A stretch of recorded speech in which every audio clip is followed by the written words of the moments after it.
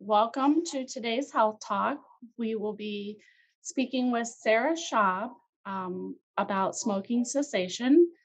Sara graduated from Ohio University with a bachelor's degree in science, exercise science in 2003.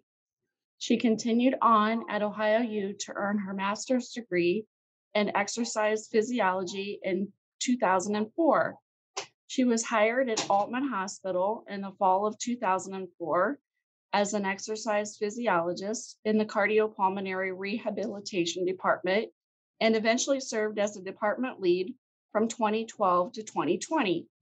Her current role is the cardiac coordinator for the Aultman Deuble Heart and Vascular Hospital. Uh, let's see, in 2008, she became a certified tobacco treatment specialist through the Breathing Association. It was near that time she assisted in starting the Give It Up tobacco cessation program at Aultman. She has coordinated this program from its inception and also acts as a facilitator for the group classes. Sara is also a certified cardiac rehabilitation professional through the American Association of Cardiac and Pulmonary Rehab. Sara, thank you so much for speaking today. Oh, you're welcome. Thank you for having me. Sorry that was a mouthful of words, all those things. but bottom line is um, today we're going to talk about um, quitting smoking, quitting tobacco use, and how that can be a critically important decision to improving your health. So, um, today, kind of the agenda of what we're going to talk about a little bit about why we smoke and how we develop our motivation to quit um, how smoking can affect the human body. And we're going to talk about ways to develop a stop smoking plan and um, some of the obstacles that go along with those and how we can deal with those. What are the benefits of quitting and how do we stay quit for good and prevent relapse? So, why do we smoke? Um, we know that the addictive chemical in tobacco products is nicotine, and nicotine uh, opens up certain receptors in the brain that cause a physical dependence to uh, using your tobacco product, whether it's cigarettes or chewing tobacco or vaping. Um, the nicotine is the chemical that drives you to smoke. So, uh, what happens is these um, receptors bind the uh, nicotine, and once you have these nicotine receptors on your brain, they never go away. And when they're um, when you have the drug in your system, you it binds to the receptors and it kind of makes them feel good and happy and they're contented. But the half life of nicotine is about two hours. So after that time frame, um, some of those receptors will start to open up and they will start sending signals that tell you have a cigarette, have a cigarette. And the only way to get them to stop sending those signals is to have a cigarette. Once the nicotine's reintroduced into the brain, then it binds those receptors and it kind of shuts them off, and you stop having those feelings of wanting a cigarette. Some people can train themselves to go longer than two hours, um, but uh, usually the um, the receptors will start at least sending those signals once the, the nicotine starts to wear off. Um, so that's the physical dependence. So it's actually like a scientific um, physical dependency that you feel that urge to smoke. It's not just willpower. Um, but there are psychological re- reasons that can uh, also affect how much people smoke and their habits with it. Um, and a lot of people use smoking as a mood regulator. Um, it does give feelings of euphoria, so you can feel like it's helping you manage your stress.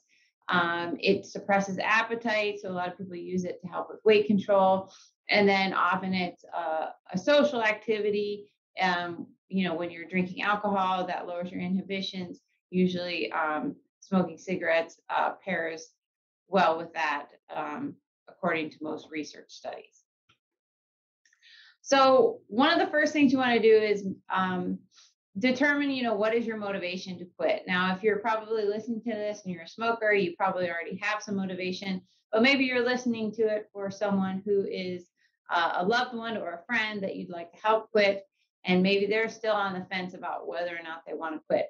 One of the things we do with our patients is we try to help them develop this decisional balance. So I take a piece of paper, we cut it, we put it into four pieces.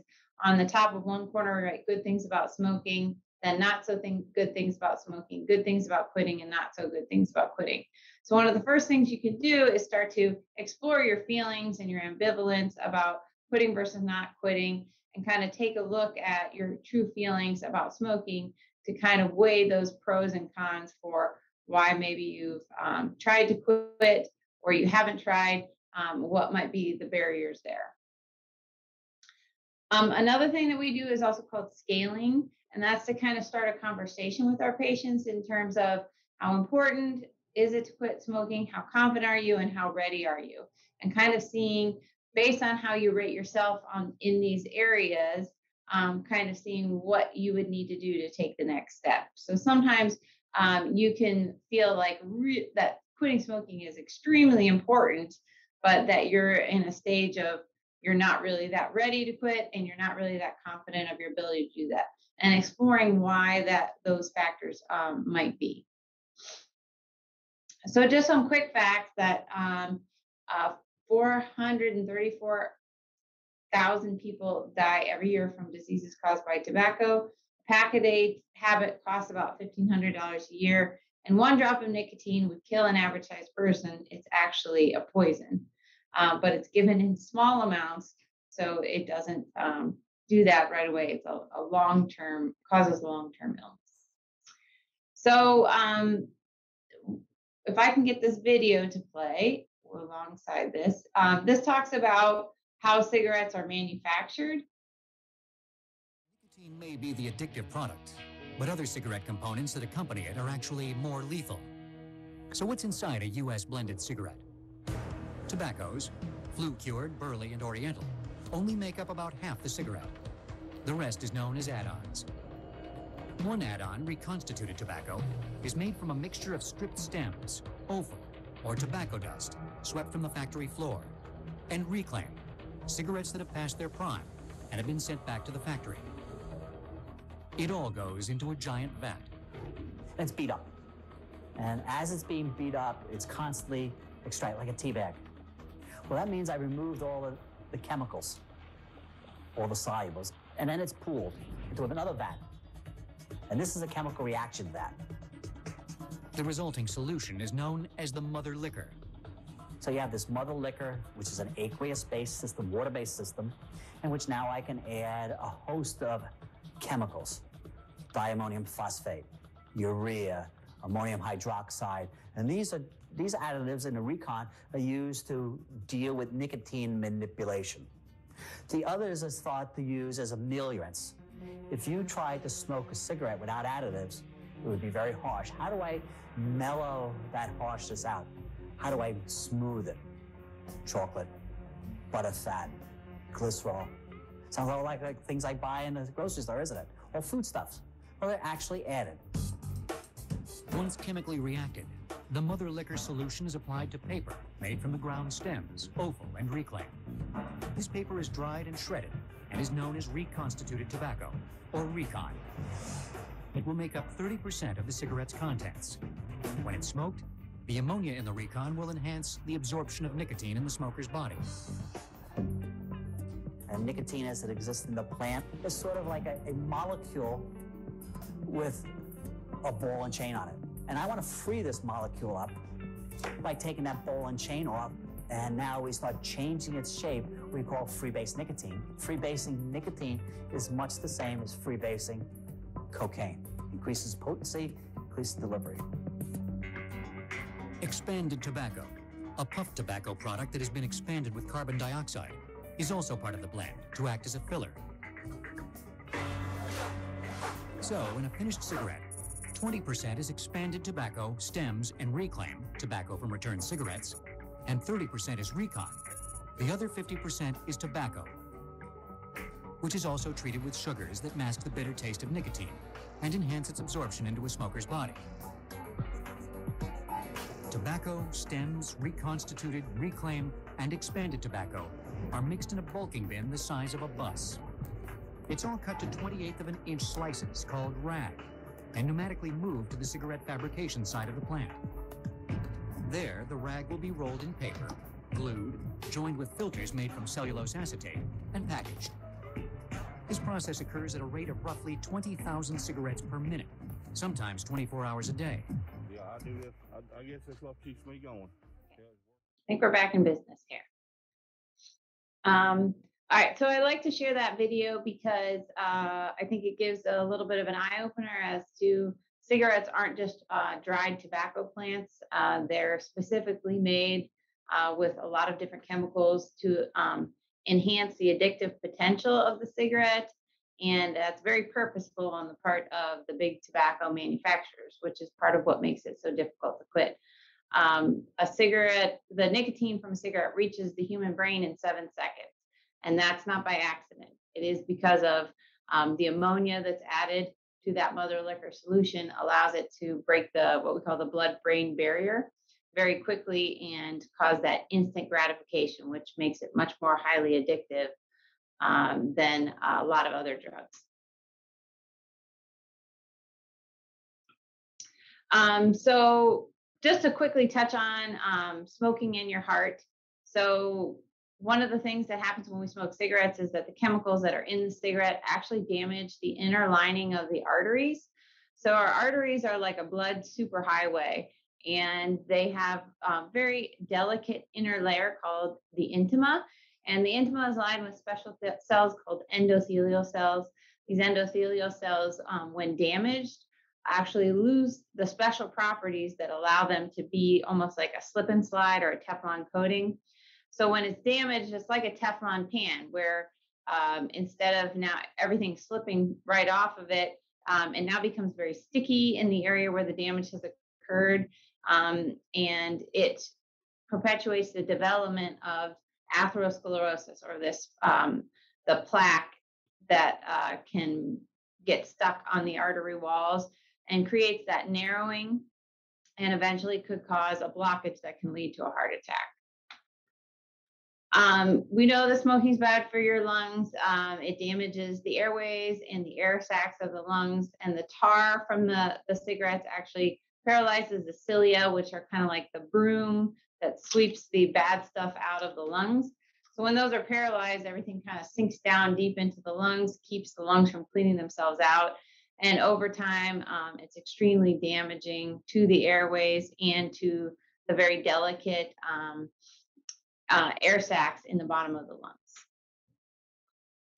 Uh, smoking is also linked to a variety of other diseases, including cancer, emphysema, heart and vascular diseases, chronic bronchitis, sinusitis, amblyopia, premature aging, and stroke. And one of the things that um, we talk about with cigarettes is that it they kind of have a free reign to go wherever they can in your body because carbon dioxide binds to um, the red blood cells. I think that is my next slide, actually. No, maybe not. So, um, uh, cigarettes contain uh, small levels of carbon monoxide, which is a poisonous gas that comes out of like uh, furnaces, or um, you hear about it in car exhaust, and it's also in cigarettes in small amounts. And when you inhale that carbon monoxide, it actually is um, very much uh, attracted to our red blood cells, and it hitches a ride on what we call the hemoglobin attached to the red blood cells. And this is in place of oxygen. So when you smoke a cigarette, instead of having oxygen bound to the four hemoglobin on a red blood cell, you have some of those um, hemoglobin will now bind with carbon monoxide, and that gets delivered all over the body. So, um, like the number one cause of bladder cancer is smoking.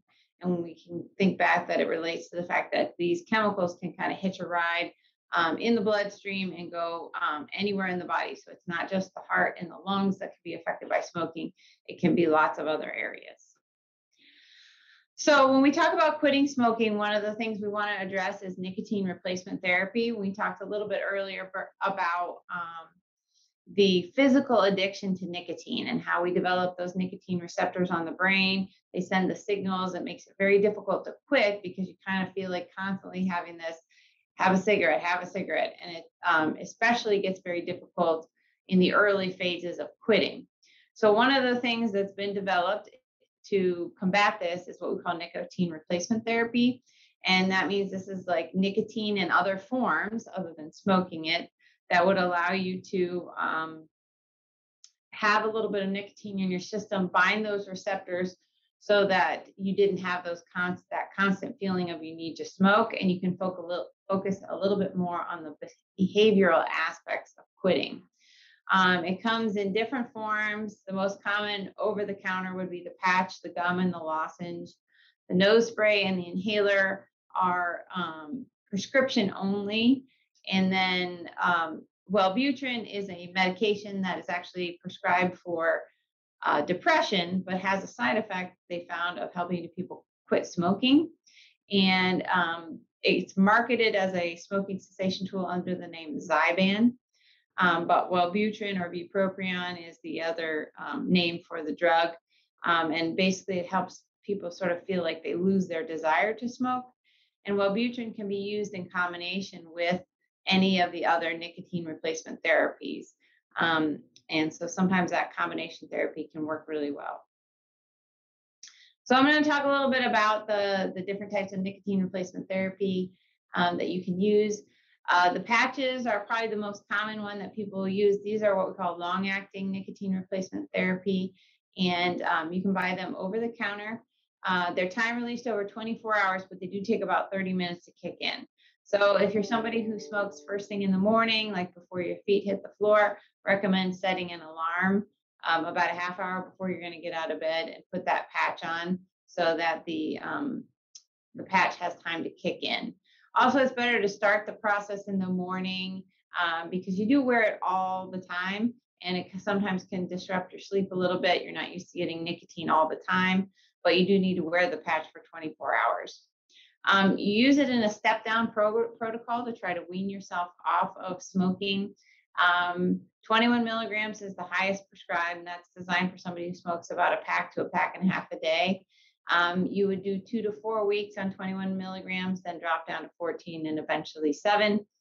Um, if you smoked more than um, a pack and a half of cigarettes a day, so two packs or three packs, you can wear more than one patch at a time with guidance from your doctor. The FDA actually approves up to 63 milligrams of um, nicotine replacement in the form of the patch for people who might need it. So if you're wearing a 21 milligram patch, you smoke, you know, maybe two packs of cigarettes a day, and you still feel like you want to smoke, um, it could be that you're not getting quite enough nicotine. Um, the one way to kind of see if that's true is if you um, are wearing the patch and you smoke a cigarette and it makes you feel better, like it relieves the craving, then that means you're probably not getting enough nicotine. If you smoke uh, while you're wearing the patch and you feel sick, or like you're going to throw up, that means that you just you didn't really need any more. You just were kind of driven to smoke, but it wasn't actually a physical need for any more nicotine. Um, the um, gum and the lozenges are both short-acting nicotine replacement therapy, and they're more um, designed to kind of use as you need them. They only take about five minutes to kick in. Um, if you're using the gum, it has to be chewed about three or four times and then parked between your gum and your lip for your body to absorb the nicotine in the gum. If you continually chew it, then you'll be swallowing most of that nicotine. It actually can cause stomach upset and um, you don't really absorb as much of the nicotine that way. So it definitely needs to be parked more like chewing tobacco. The same goes for the lozenges. You kind of have to get them a little bit wet and then you park them for about 20 minutes between your gum and your lip, kind of wet them again and park them again um, and kind of repeat that for up to two hours with one piece of gum or one lozenge. Um, it's self-regulated and it comes in two strengths, four milligrams and two milligrams. Um, the limit per day is uh, 16 pieces. Now you can use um, nicotine patches and nicotine gum together to help with breakthrough cravings. So you could wear the patch for 24 hours um, if you felt that urge to smoke, felt like you needed a little more nicotine, uh, you could use a piece of gum or a lozenge to kind of give you a little bit extra for those times when you had the cravings. Um, so that could be something that's helpful versus feeling like you're wearing the patch and you smoke a cigarette to help yourself feel better. Using the gum or the lozenge is a better alternative Um, you may not t- need to use very much, um, but would keep you from smoking at all. Um, the other short acting nicotine replacement therapies would be the nasal spray and the inhaler. I haven't known too many people to use the nose spray. Uh, the inhaler um, isn't inhaled into the lungs, it actually sprays nicotine on the back of the throat and then it's absorbed um, through in the throat um, to uh, help with the cravings for nicotine, but it is by prescription only. Um, like I talked about, bupropion is also known as Zyban or Wellbutrin and is an antidepressant uh, medication. Um, to start taking it, you can usually continue to smoke uh, during the first week, but then they try to encourage you to set a quit date sometime in the second week. And um, it does have some side effects, uh, but it also can help with um, people who are afraid of gaining weight when they quit smoking because it has a side effect of weight loss. So it can help sometimes with the um, the worry about uh, excessive appetite and eating when you quit smoking. Um, Chantix is the only uh, prescription drug specifically marketed to help people quit smoking, and it's actually a nicotine receptor blocker. So it goes back to those nicotine receptors on the brain that we talked about before. It actually um, blocks those receptors from sending or receiving signals. So basically, you lose that desire to smoke. Um, and even if you did try to smoke a cigarette, people report you don't really get anything out of it.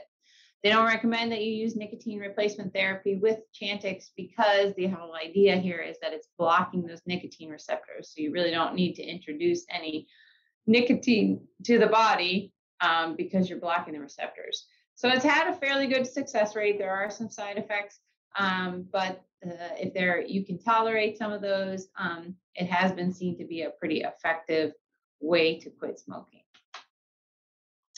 I wanted to touch quickly on like e-cigarettes and vaping, which has become very popular, especially with uh, younger people. Uh, usually these um, are a liquid-based nicotine that comes in with a rechargeable battery. Um, the liquid is heated and uh, turns into a vapor that's then inhaled. And the reason that e-cigarettes aren't touted as a way to quit smoking is because they still contain high concentrations of nicotine.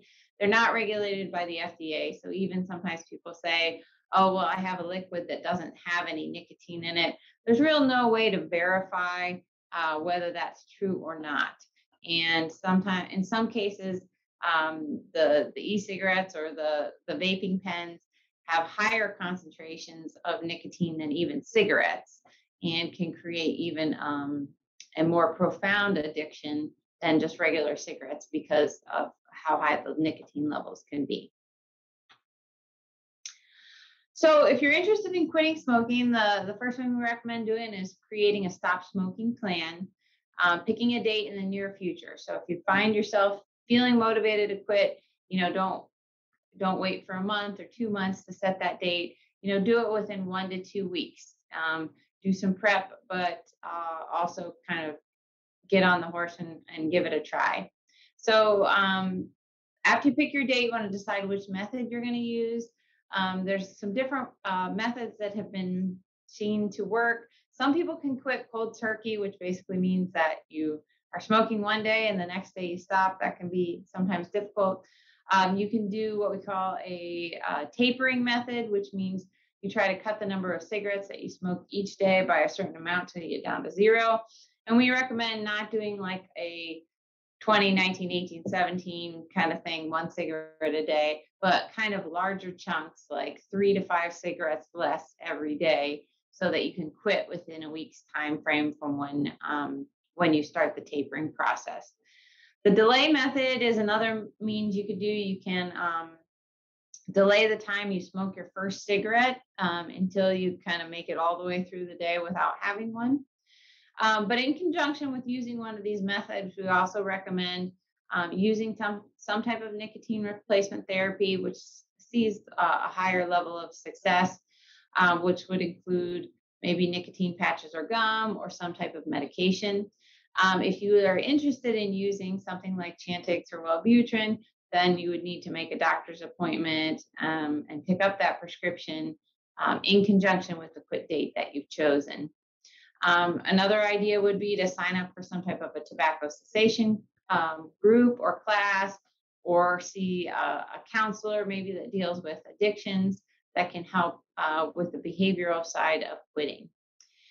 Um, prior to go, the quit date, um, it's a good idea to record your habits for a week so you kind of know what your triggers are and your barriers.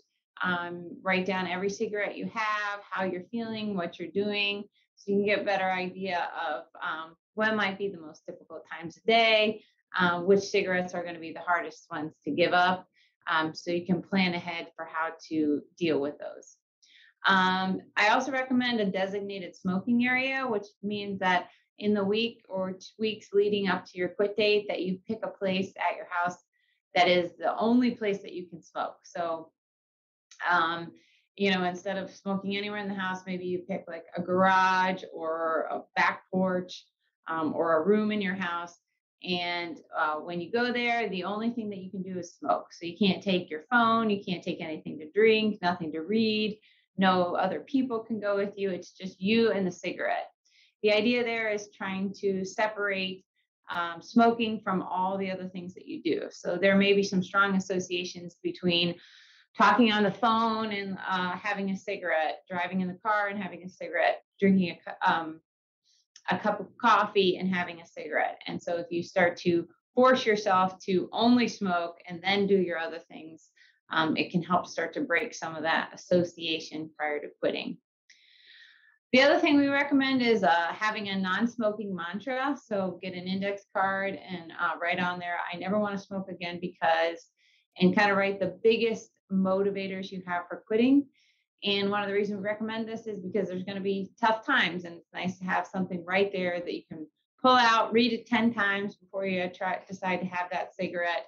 Um, stay motivated, stay focused on why this is so important to you. Um, some of the biggest barriers that people see when they go to try to quit smoking are obviously withdrawal symptoms, um, psychological issues, you know, um, managing their stress, and then weight gain.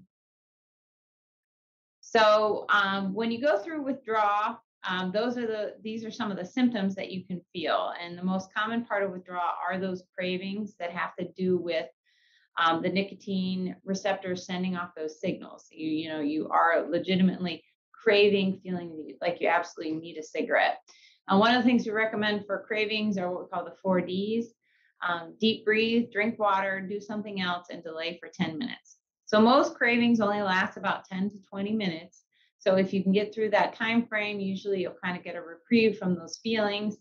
Um, taking nice deep breaths in through your nose, out through your mouth, about 10 of those can often um, make those cravings go away.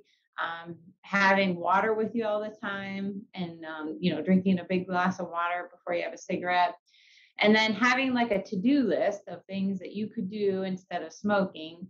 Um, maybe it's uh, stuff around the house go for a walk you know um, go see a friend who doesn't smoke or um, you know different things like that. Uh, clean out a desk drawer go through some old pictures uh, just some ideas that you wrote down ahead of time of things you could do when you started to have a craving to kind of get you through that time frame. Some of the other um, major withdrawal symptoms include tension and irritability. You know, you definitely hear about that, that it's um, you, you can be easily irritated or angered when you're trying to quit smoking. Um, lightheadedness and tingling sensation, those stem from increased oxygenation. So when you quit smoking, um, instead of having carbon monoxide introduced to your bloodstream and taking up some of the oxygen, your body starts getting full oxygen. And if you've been a smoker for a long time, that can kind of make you feel like you're on oxygen overload and can cause some strange sensations.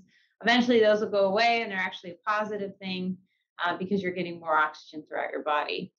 Um, lack of concentration. So, uh, nicotine is uh, a stimulant and can almost act like ADHD medication. So sometimes when you quit smoking, you can feel a little foggy, you can feel like you're having trouble focusing uh, because you no longer have that stimulant introduced to your system. Um, coffee, coughing and stuffy nose. So quitting smoking, your your body starts to sort of clean out your uh, respiratory system, and it can just make you feel like you have a cold uh, because it's trying to get everything out of there. Increased appetite and weight gain is again a result of the stimulant effect of, of smoking. So it is an appetite suppressant. So when you stop smoking, you might notice that you have an increased appetite.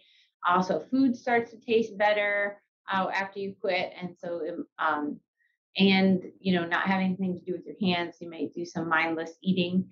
So just being mindful of that can uh, can help that. And that's certainly not an exhaustive list of withdrawal symptoms, but those are some of the most common. Um, so some of the things we recommend to help with breaking the habit, of course, I already talked about drinking water. I mean, having like a big container of water with you all the time, carrying some low calorie food items so you can kind of get that hand to mouth action that you might be missing. So things like um, we always talk about like frozen grapes is a really good one. Um, pretzel sticks or popcorn, um, fruits and vegetables of any kind. Uh, things that you can kind of eat a lot of without uh, potential weight gain are usually a better choice to have around than, uh, you know, a bag of Oreos or something like that, where you might have a tendency to overeat on something like that. Um, trying to be more active, so setting goals for physical activity. We know activity definitely decreases cravings and giving yourself another goal to focus on, something like having a pedometer and trying to get 10,000 steps a day can help reduce those cravings, but also shift your focus to something else. Um, the deep breathing, whenever those uh, cravings come on, using those four Ds we talked about, and then working to avoid some of your trigger situations. So if you have a group of friends that always get together and maybe they're smoking, um, is part of the ritual, not attending some of those for a short period of time until you get more comfortable uh, being around people who smoke when you are trying to quit um, is a good idea. Um, so one of the things that a lot of people do with cigarettes is, you know, they get into a stressful situation and they're, you know, they have those feelings of, oh gosh, I really need a cigarette, and feeling like because when you smoke, you initially get those feelings of euphoria. It can feel like it's taken away your stress. But actually, the research shows that being a smoker is more stressful than the stress relief provided by actually smoking because your body's sensitivity to stress might be heightened and you're more likely to try to go back to a cigarette to, to deal with that. So, finding different ways to deal with your stress is really important when you're quitting smoking because you will encounter stressful situations and those will be times when your body is telling you have a cigarette. What are some other things you could do? Um, going for a walk or getting some physical activity definitely helps to relieve stress.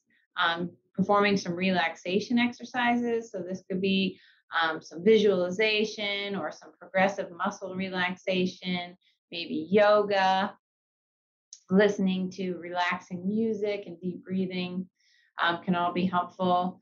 Um, using more constructive thinking, so um, positive self talk and um, having more assertive behavior can all also be beneficial when you're to help reduce the amount of stress you have. So weight gain is a major issue when people go to quit smoking, and a lot of times if people start going gaining weight, they will go back to smoking in order to uh, lose that weight again. Um, the main reasons why people gain weight when they quit is because there's a slight decrease in metabolism. So um, you burn more calories as a smoker than a non-smoker, at least initially. Um, but it's not a significant slowdown, um, not so much that accounts for some of the major weight gain that some people see. The biggest thing is probably substituting food for cigarettes and eating out of boredom. So um, the time that you spent smoking may now be more, you might be more likely to um, try to grab something to eat for that. Also, um, the I talked a little bit about the fact that food usually um, your your sense of smell and taste will improve shortly after you quit and may make you more inclined to eat more food. So um, important to watch portion sizes and really keeping healthy foods on hand so that out of sight, out of mind. If you um, you know have a bag of frozen grapes or a, a little bag of pretzels as your go-to rather than having you know a bag of chips or, or cookies or a pizza on hand um, that could be really beneficial. And then trying to get a little bit more physical activity, and this will definitely help combat that decrease in metabolism, especially if you haven't been overly active. Um, that physical activity can be really beneficial.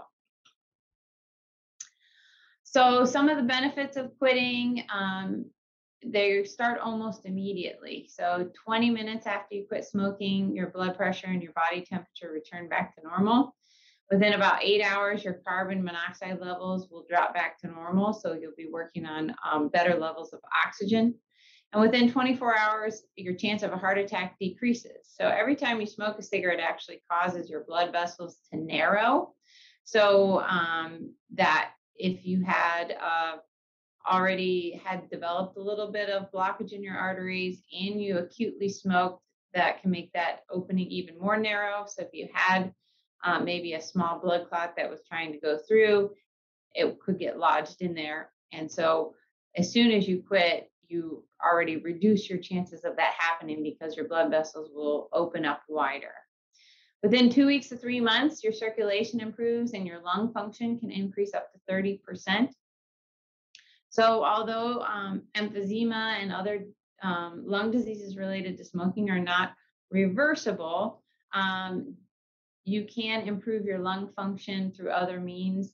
And also, the increase in oxygenation and circulation uh, can be beneficial to your breathing.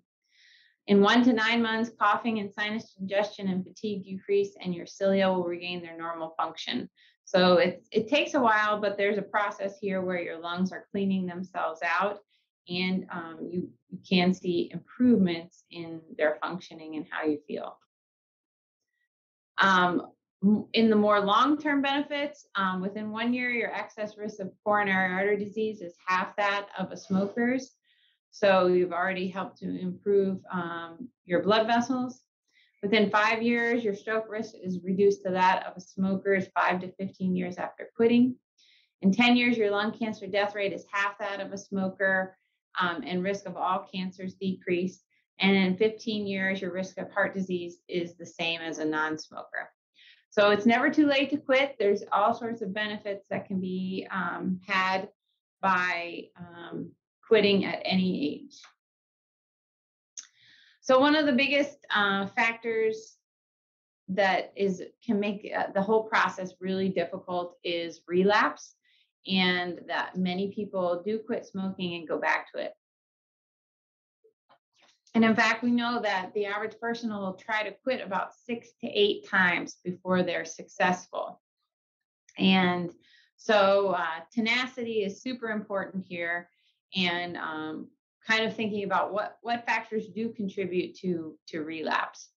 So um, ensuring that you stay quit is planning ahead for your response to a crisis. So um, even if you've been quit for a little while, if you come under a situation that is extremely difficult, um, that could be likely a time when you would go back to, um, to smoking. You know, if you were in a fender bender or you got bad news about a loved one or um, news about a health issue, um, that is a trigger that causes a lot of people to go back to smoking. So thinking about if this were to happen, you know, how would you face this crisis without having a cigarette?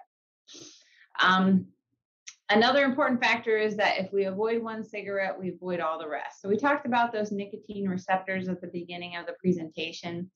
And those receptors, once they develop on your brain from smoking, they never go away. But what happens is that they do go dormant. So they sort of go to sleep if they aren't getting fed any nicotine. You know, you've overcome that initial phase of them sending the signals and you not responding to them. Eventually, they'll kind of go dormant, but they are still there. And so when we go, you know, into a situation where maybe we're like, oh, I'll just have one cigarette well, that one cigarette um, is the catalyst that wakes up all of those nicotine receptors. So you had successfully kind of put them all to sleep, but you have that one cigarette for one reason or another, and all of a sudden it's like ringing the dinner bell for those nicotine receptors. And once they're awake, they tend to um, they're going to start sending those signals again. So you know we've seen situations where somebody's been quit for a year or five years and for some reason they decide to have a cigarette maybe they even cough, they feel a little lightheaded and are kind of like, oh, why did I do that? And then a few hours later, they start having those feelings again of have a cigarette, have a cigarette. And it is because those nicotine receptors are now awake. So that's why we say avoid one cigarette and you avoid all the rest. So as long as you can keep those nicotine receptors sleeping, um, you won't have uh, have to deal with um, starting up that habit again. Um, dealing with obstacles and barriers with things other than smoking, and then continuing to focus on those long-term benefits. So, you know, feeling better, having more energy, you know, thinking about how much money you saved, um, and how your health is improving each and every day that you don't smoke. I had a couple in one of my tobacco cessation classes um, a few years back who um, they were quitting smoking together. He smoked two packs a day and she smoked one. And they took um, for every pack, they they made it five dollars per pack. They took five dollars, they put it into a jar together. So she would put five dollars in every day and he would put 10 in. And um, after six months, they had enough money to take um, a you know a trip to Las Vegas that they've always wanted to do together. And so they kind of set their eye on the prize. They saved up all that money and they were able to take a cool vacation. So I thought that was a, a really good way to help stay motivated. Um, here's just a few uh, resources um, that you can use. We do offer the um, Give It Up Tobacco Cessation Program here at Aultman. Um, and I know a lot of, there's a lot of apps out there. This is just a few that you can use.